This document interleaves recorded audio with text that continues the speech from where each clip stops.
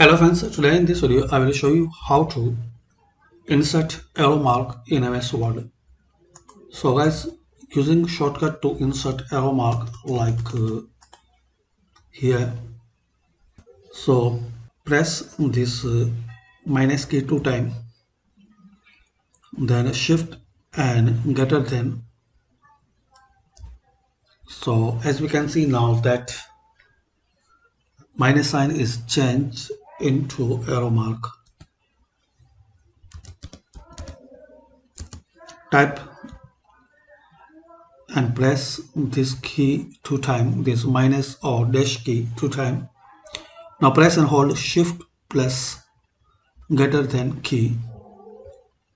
So this is the way guys you can create arrow mark using shortcut. I will show in arrow mark I will show you now on screen keyboard so you can get easily how to create this one.